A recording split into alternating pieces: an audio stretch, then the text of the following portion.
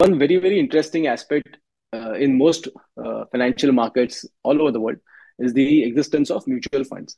And I don't want to bore you with the history of mutual funds, but the whole idea of his mutual funds is that some uh, professional will manage a portfolio for you and invest it into all the uh, stocks that we discussed earlier, that some sort of businesses, and they will build a portfolio of these businesses for you.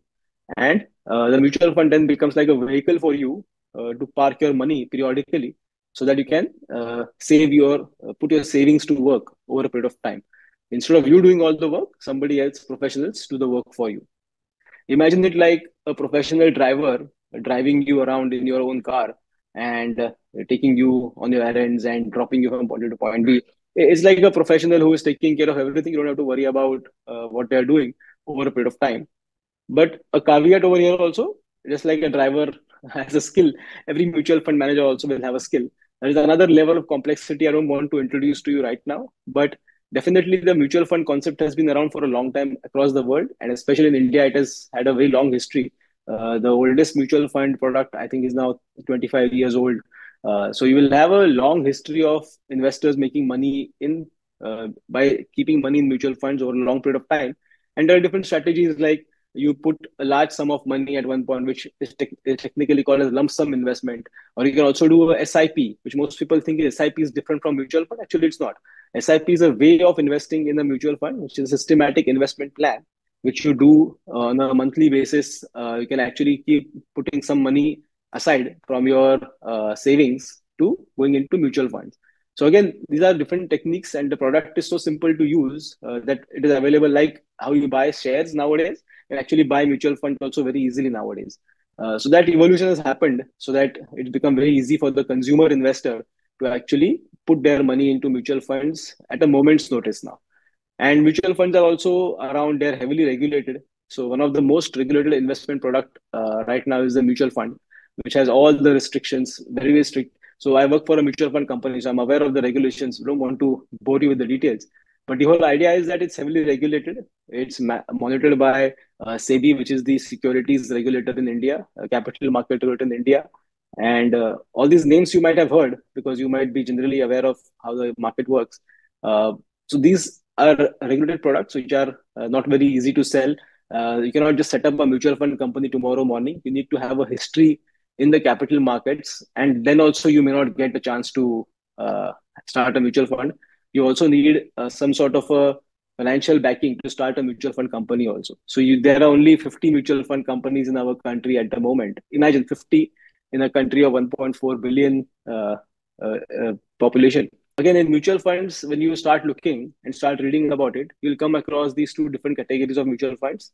And i think over a period of time the mutual fund industry has also simplified itself uh, a meaningful way by creating very specific categories for investors to choose from and some of these categories, again, are better suited for, say, a financial advisor to help you understand rather than you directly picking up and understanding them because they will be, again, based on the same principle I mentioned earlier of time horizon of your investment. So if you are looking at a pure equity product, which is only investing in equity, uh, it has its own nature of, uh, it's a long-term nature of product. So it has its own way of uh, putting money into it. You have to use a longer term approach for putting money. That means you cannot just put money once and tomorrow morning you should expect the return to come to you. It takes a while for that product to work. That's why SIP, a systematic investment plan, actually helps in that particular way. But there are other kinds of mutual funds like debt mutual funds, which also allow you to invest in a different way. And we'll talk about that a little later when we discuss debt. So in debt, uh, most people are generally aware of debt investing in the form of fixed deposit especially people like me also who are born middle class and live in an urban environment and parents are working class and who may not have exposure to equity or mutual funds when we were younger. Uh, so i'm a 90s kid. So generally uh, in the 90s i was in school. That's what i meant by 90s kid not a born in the 90s but uh, in that time frame i only saw people around me uh, save in two ways. One was keeping money in fixed deposit and the other one was either property or gold so we'll talk about those things also after this. But uh, fixed deposit is a very, very popular product.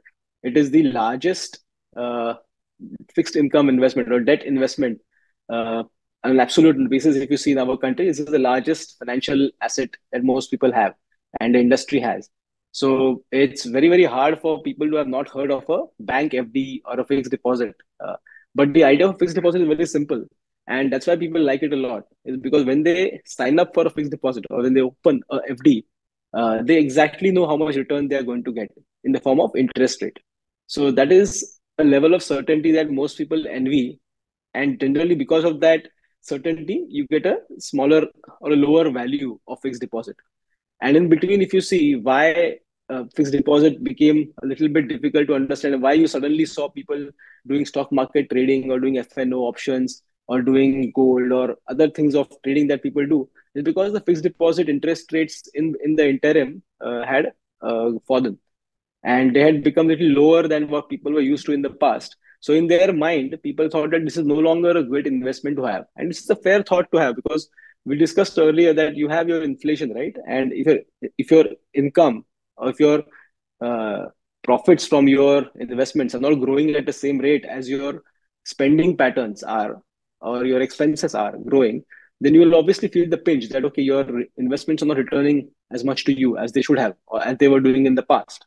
So people generally thought fixed deposit may not be a good idea, so started trying out different uh, financial investment options like mutual like mutual funds, like gold or other things, where they could easily park uh, the same manner.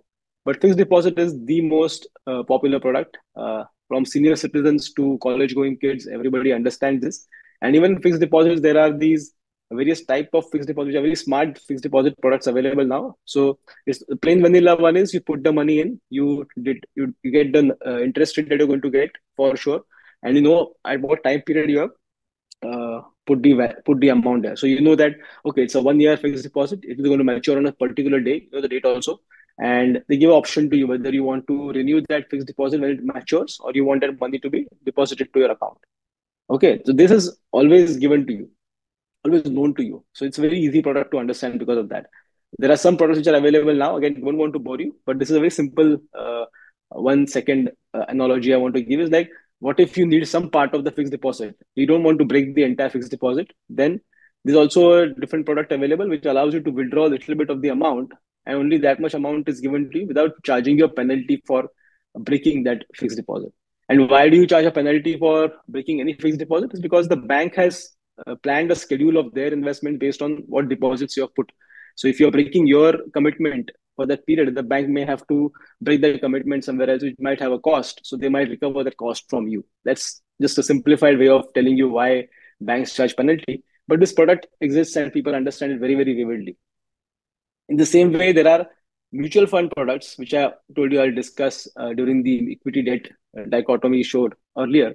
That in mutual funds also there are debt mutual funds available, which also provide the same flexibility, but at the same time they allow you to break it very, very easily. So if you are investing in a debt-oriented mutual fund scheme, knowing that that investment is only going to be used for less than five years period, when you know know for sure that the money is or it is something that you want to invest in debt, you want to put a certain amount of money in debt, uh, then mutual fund becomes a better option so that you can withdraw a little bit also from it without affecting the uh, overall investment over a period of time. And mutual funds, debt mutual funds do something a little different than what banks bank fixed deposits do. Here, the return is not guaranteed to you because the value of the mutual fund unit also will keep on moving up and down based on the market value of what the mutual fund is bought in. Don't bother yourself with the complications. In fixed deposit, a straight line is given to you. In mutual funds, the line goes up, but it may not be straight. It might be squiggly. It might move a little bit up and down. That's the whole point about debt mutual funds. But this also provides you another alternative, and we can certainly take up some questions if at all this is something which people are interested to understand. But to be very fair, equity mutual funds, five years plus horizon if you have, great product to uh, keep your savings in. Less than five years if you have, then right from the bank fixed deposit to debt mutual funds available in the market can be a good personal choice for you uh, from your savings point of view. Again, very, very important to again reiterate the point that when do you need the money? So if it's less than five years, like I mentioned, uh, make sure that you keep into debt kind of products. And if it is longer than five years, then you know it's going to be used for retirement or even any time which is beyond five years, then equity becomes a very, very uh, good option for you because in that five years period, a lot of things would have changed. The market would have grown, companies which you bought would have grown, the portfolios would do better.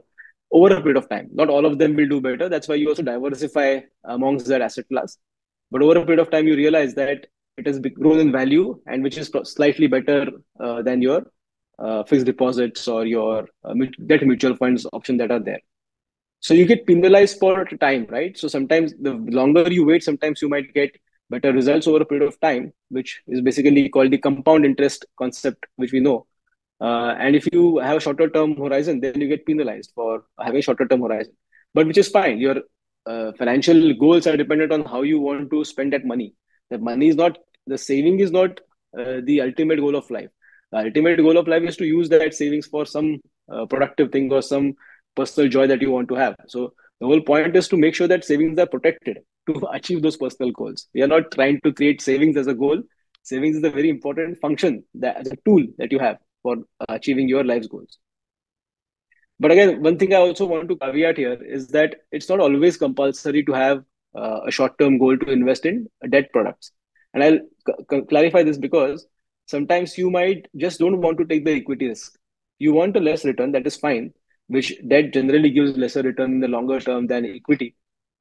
And you have to be very, very aware that uh, once the uh, debt investments are made, uh, the investments will have their own returns, which is specified from what they're investing in.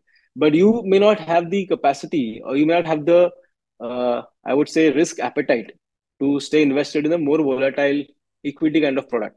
You might actually feel more nervous by putting more money into equity, which is fine. Then you keep a little bit more money into debt. So your overall returns might be a little bit less, but because your risk appetite itself is a little less, it actually helps you to uh, sleep peacefully at night if you have some money kept into debt. And that is the reason why I meant that sometimes it may not be always compulsory. So just like every rule has an exception, this also has an exception that it may not be compulsory for you to keep your money always into uh, equity because it's longer term. Sometimes a longer term debt might also be a good option for you. Maybe you're retired and you want to consume out of your retired income. You might want to protect some of it by keeping a little bit more into debt than you are keeping it into uh, equity. Or if you're a very young person, you might have to keep a little bit less in debt. You can have emergency funds, or you can have funds which will basically quickly replace your income if something goes wrong with your practice or whatever. It may not, uh, if you lose a job somewhere or whatever, this emergency fund will quickly help you take care of your expenses. Uh, so emergency fund will always be kept in debt because that money has to be accessible very instantly. You can't keep that money into equity markets and take that risk of that value of the emergency fund uh, reducing. Uh, so there, some of these options are the exceptions to the rule of why uh, debt may not be always a short-term kind of a thing.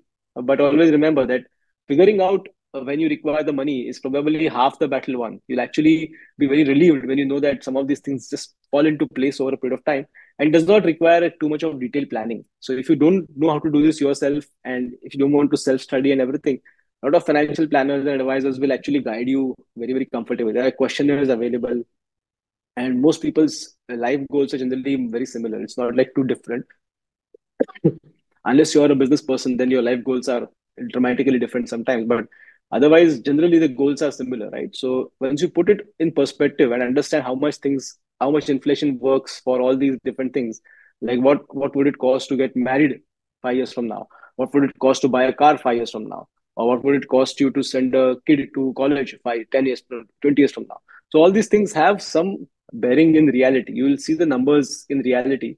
Uh, how what is the cost of uh, medical expenses uh, over something doctors might be intimately aware of. So generally, you are aware that things will inflate, and you will have to plan for that expense in the future. So to also inflate that required amount of money in the future.